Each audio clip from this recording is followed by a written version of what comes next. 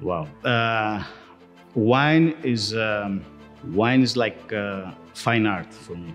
It's a creation. You give yourself, you know. Every winemaker, you put your own touch.